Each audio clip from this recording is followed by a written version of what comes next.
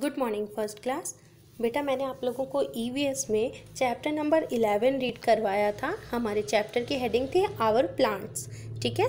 तो एक बार हम फिर से रिवाइज कर लेते हैं कि इस चैप्टर में हमने क्या पढ़ा था, फिर हम इसके वर्ड मीनिंग्स और एक्सरसाइज पार्ट डिस्कस कर लेंगे, ठीक है? चलो स्टार्ट करते हैं। We see many plants around us some plants are big some plants are small यानी कि हमारे आसपास हम बहुत सारे प्लांट्स देखते हैं, कुछ प्लांट्स बिग होते हैं, यानी कि बड़े होते हैं और कुछ प्लांट्स स्मॉल होते हैं, यानी कि छोटे होते हैं। तो देखो, जैसे एक बैनियन ट्री था, ये इतना बिग है और ये तुलसी का पेड़ है जो कि इतना स्मॉल है, ये बड़ा है और ये छोटा है तो इस तरह अलग अलग तरह के पेड़ हम लोग अपने आसपास देखते हैं। पार्ट्स ऑफ़ अ प्लांट एक प्लांट के कितने पार्ट्स होते हैं? तो देखो, यहाँ पर फ्रूट है, ये देखो ये फ्लावर है, ये लीफ है, ये स्टेम है, तने को हम लोग स्टेम कहते हैं और रूट को हम लोग जड़ कहते हैं। ठीक है? तो अगर आपसे पूछा जाए कि पार्ट्स ऑफ़ अ प्लांट बताओ तो आप बताओगे fruit flower leaf stem root ठीक है? ये आपको लर्न करना है ये इंपॉर्टेंट है। ठीक है? आपको लर्न करना है इसको। नेक्स्ट देखिए, फिर हमने पढ़ा the fruits of plants have seeds यानी कि जो फ्रूट्स होते हैं, किसी भी प्लांट का जो फ्रूट होता है, यानी कि जो फल होता है, उसमें सीड्स होते हैं, बीज होते हैं. और ये जो बीज होते हैं, वही फिर वापस से एक न्यू प्लांट बना देते हैं. तो हमने पढ़ा था कि जो बहुत बिग प्लांट्स होते हैं, जो बड़े बड़े प्लांट्स होते हैं, उन्हें हम ट्रीज़ कहते हैं और जो स्मॉल प्लांट्स होते हैं, उन्हें हम बुशेज़ या फिर हर्ब्स कहते हैं। ठीक है? इनकी मीनिंग मैंने वर्ड मीनिंग में लिख रखी है तो मैं आपको वहाँ पर फिर से समझाऊँगी। फिर देखिए, हमने पढ़ा था कि कुछ फ्रूट्स होते हैं, जैसे कि ये फ्रूट्स हमें, ये सारे फ्रूट्स किससे मिलते हैं? प्लांट से मिलते हैं। Orange papaya apple pear pine mango banana guava grapes watermelon ये सब क्या है? फ्रूट्स हैं। फिर हमने कुछ वेजिटेबल्स देखे, जैसे cauliflower bitter gourd potato carrot radish onion brinjal cabbage tomato and cucumber ठीक है? फिर हमने कुछ फ्लावर्स पढ़े थे, जैसे लोटस मैरीगोल्ड ट्यूलिप कोई सा भी फ्लावर हो, सब हमें किससे मिलते हैं? प्लांट से मिलते हैं।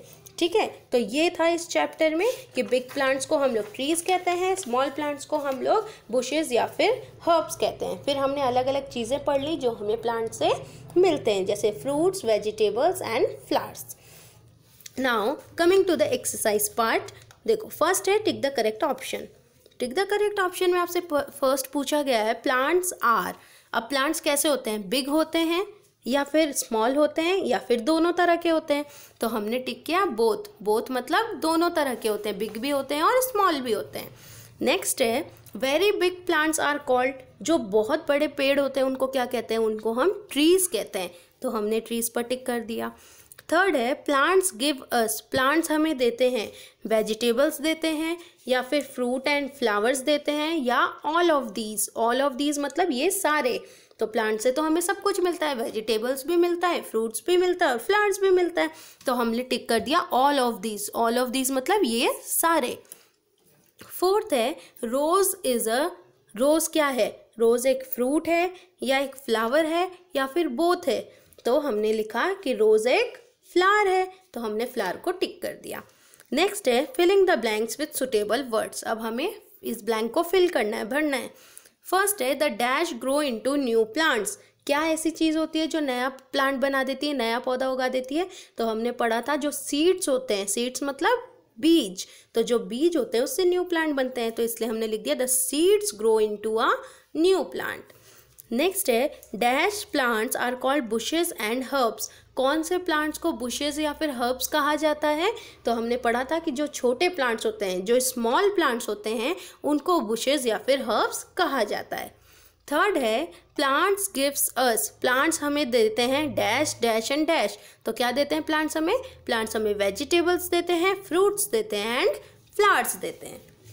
Next true and false true and false में आपसे फ़र्स्ट पूछा गया है the fruit of vegetable have seeds जो वेजिटेबल्स के फ्रूट्स होते हैं, उनके सीड होती है। ऐसा थोड़ी है, जो फ्रूट्स होते हैं, उनमें जो सीड होता है, उस, वो क्या करते हैं न्यू प्लांट बनाते हैं। हमने पढ़ा था ना तो ये हो गया फॉल्स सेकेंड है carrot is a vegetable carrot एक वेजिटेबल है, गाजर एक वेजिटेबल है, बिल्कुल है तो हमने लिख दिया true next mango is a fruit mango एक फ्रूट है, ये भी सही है तो हमने लिख दिया ट्रू फिर नेक्स्ट है marigold is a flower marigold जो है, वो एक फ्लावर है, बिल्कुल है तो हमने लिख दिया ट्रू नेक्स्ट है मैच द फॉलोइंग ये मैच द फॉलोइंग बेटा, आप लोग कैसे करोगे? या तो आप इनके नाम लिख लेना और फिर कर लेना, या फिर आप सिर्फ़ मैच द फॉलोइंग बुक में ही कर लेना नोटबुक में रहने देना. ठीक है? तो देखो, ये प्लांट है, ठीक है? ट्री है तो ट्री को हमने ट्री से मैच कर दिया. नेक्स्ट है रोज़ रोज़ एक फ्लावर है तो हमने फ्लावर से मैच कर दिया. नेक्स्ट है ग्रेप्स ग्रेप्स क्या है? एक फ्रूट है तो हमने फ्रूट से मैच कर दिया। और फिर ये क्या है? ये है कॉलीफ्लावर और कॉलीफ्लावर क्या है? एक वेजिटेबल है।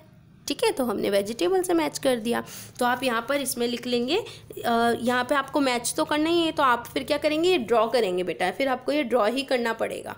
ठीक है? तो आप ये ड्रॉ कर लीजिएगा, क्योंकि आपके मैच द फॉलोइंग में दे ये रखा है कि ये ट्री है, ये फ्लावर है तो आप यहाँ पे ट्री या फ्लावर नहीं लिख सकते हो तो इसलिए आपको इसको ड्रॉ ही करना पड़ेगा।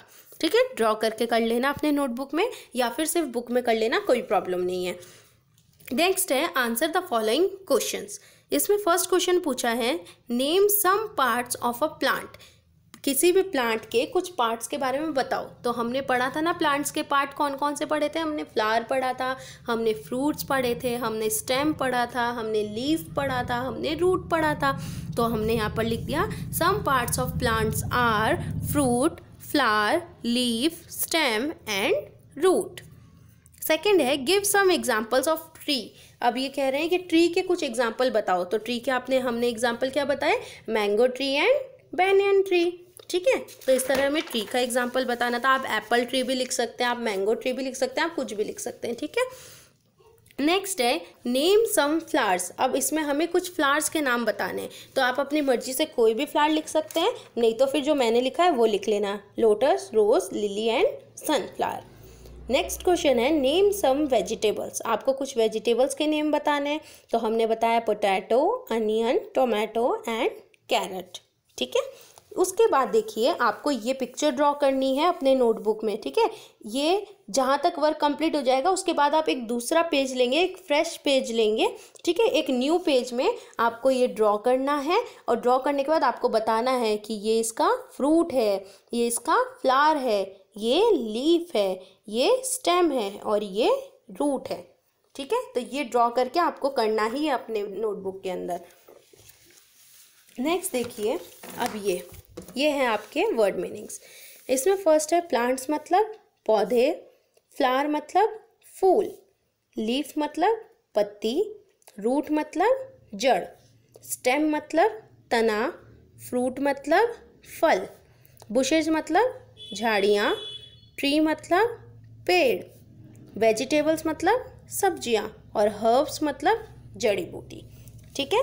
तो ये वर्ड मीनिंग भी आपको अपने नोटबुक में करना है और इसके अलावा जितना भी एक्सरसाइज पार्ट हमने इसमें डिस्कस किया है, ये A B C D E और ये ये भी आपको नोटबुक में करना है।